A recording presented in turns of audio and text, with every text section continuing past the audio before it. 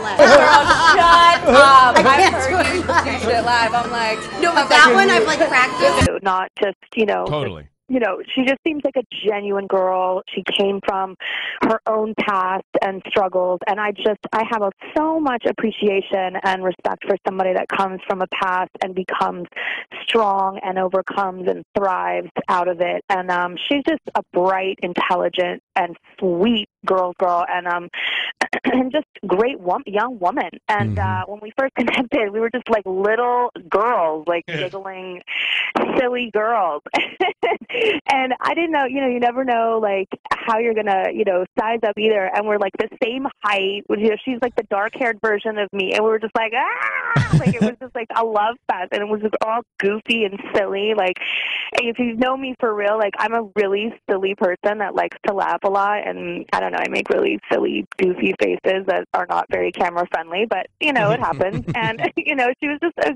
straight up, just oh, and such a hard worker. I, I can't say enough positive things about her and the experience. And the video is just so um, amazing, and I think can be interpreted in, in, in anyone's situation in any way, in anybody's um, you know life. Anyone that feels kind of confined and uh, you know kind of wanting to um, break their cycle and want change. Well, we know that Demi has a, a voice that uh, he put you guys in the same room, and it's a hell of a battle. But how much of, of her story was an influence toward you choosing to work with her because she has faced a lot of what you just eloquently described? Yes, having her, you know, be so vocal about her own struggle and her own past, and and um, I, we all have demons, and it's amazing to be able to bring those to the forefront and to talk about it, make it a conversation, and that's that's something that I think is so important about music is is making it a conversation, not just a, a- a- some kind of a sing along nursery rhyme type thing. It's important for me to have substance, and Demi has always, I feel,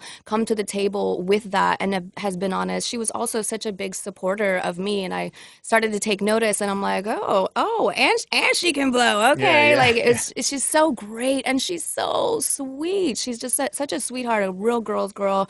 I love that, and um. And then, yeah, it was important for me that I had somebody that could really blow. I wanted somebody that could come, come, Come correct. come to play. Yeah, Yeah. yeah, yeah. And and she definitely did, and she put so much heart and passion into it, and that's all I could ever ask for. And um, I, I teared up when I first heard her vocal on it, and I sent her flowers, and I was just like, oh my god, you took it to the next level. Like I'm just so happy. And then, um, yeah, but but that's what I love the unity of it, and the fact that you know we're just coming from such an empowered place, just as as women, two strong women have come from struggle and and are able to share that in such a, a in such a positive way.